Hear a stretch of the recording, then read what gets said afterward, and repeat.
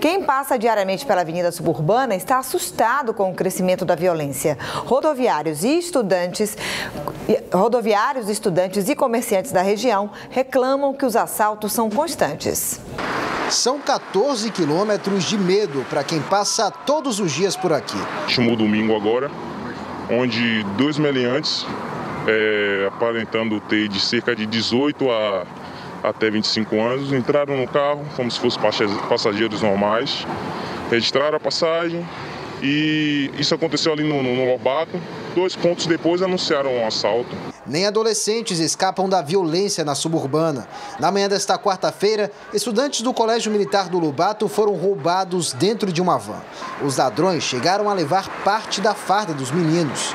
A polícia disse em nota que intensificou as rondas na região. Os rodoviários confirmam que há policiamento, mas os criminosos esperam horários estratégicos para praticar o roubo. Realmente há policiamento, mas não é a todo momento. Então não é todo momento que a gente está se sentindo seguro quando a viatura passa, olha, às vezes até aborda assim os meliantes, mas não é todo momento, porque até eles mesmos sabem os horários que a gente fica aqui ao relento, os horários que não tem policiamento. A titular da Delegacia de Furtos e Roubos afirma que os criminosos agem como passageiros e só no meio da viagem anunciam o assalto. As vítimas são moradores da área e são trabalhadores, né? As vítimas. As vítimas. Os bandidos não necessariamente eles moram na mesma área.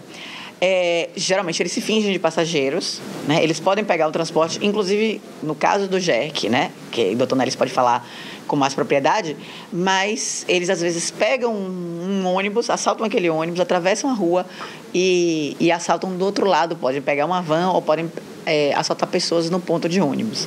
Segundo a polícia, os mesmos bandidos são responsáveis pela maioria dos assaltos que são registrados aqui na Avenida Suburbana. O relatório está sendo feito para mostrar a reincidência desses criminosos que chegam a ser presos, mas logo voltam à rua liberados pela justiça. A gente tem um número muito grande de prisões, inclusive desse, desse mesmo tipo de bandido, desse mesmo tipo de modalidade.